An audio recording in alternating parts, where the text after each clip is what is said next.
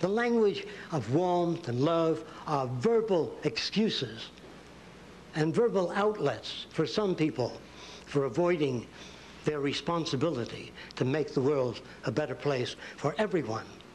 The smarter your kids are, the richer my life. Every kid on corner shooting up drugs, going nowhere, you're going to have to pay for in the future. Therefore, it is efficient and functionally selfish to build a better world for everyone. If you try to do it, people come to me all the time and they say, can you design a city with a wall high enough so when the Y2K problem comes, or the system breaks down, or the banks fail, we will be protected.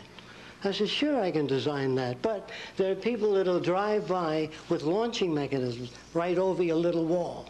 There's no place you can hide. We have 25 acres. People call it Eden 2. It's beautiful. When I talked this way on the Larry King show, he said to me, just a minute, I depend on those people that you're attacking. I wasn't attacking the automobile companies. I just said that if you did that, it would be safer. If you put proximity units on automobiles, most of you have them in your home now. When you walk over the building, the light goes on. That's a proximity unit.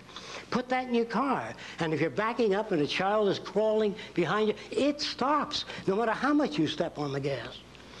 I don't want any sign slippery when wet.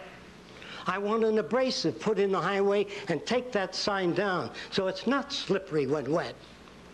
I don't want to say to kids, stay away from drugs. I want to make life so interesting for people that they don't want drugs. They don't want to dull their senses.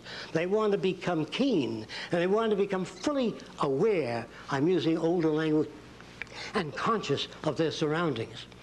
It is painful to deaden your awareness when life is beautiful when what you do goes out to people and makes their lives better.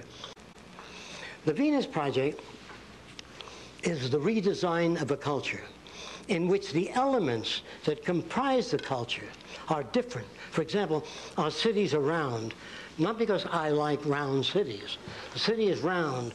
The center of the city has a socially integrated computer. This may be a medical center. This might be an engineering center. And if you work in a medical center, you live in beautiful gardens with running streams and waterfalls. And every district is the same distance from the center. There are no cars in the city. You get on a conveyor and dial where you want to go to. There's no crime in the city. Just before the public library in the United States, people said, well, you can't really do that. The people never bring back the books. They'll keep them. They won't return them. Of course, all that was incorrect. I want to build a library where any child can walk in, check out a camera, check out art materials, check out water skis, make things available. People don't steal. No one's going to hit you on the head to take your watch off if it's available. Well, how are you going to pay for this central library? That gives children these things for nothing. Well, it cost about 50,000 bucks to keep a kid in jail one year. An adult, 75,000 bucks a year. Food, clothing, shelter, dental care. Isn't it easier to do it in a different way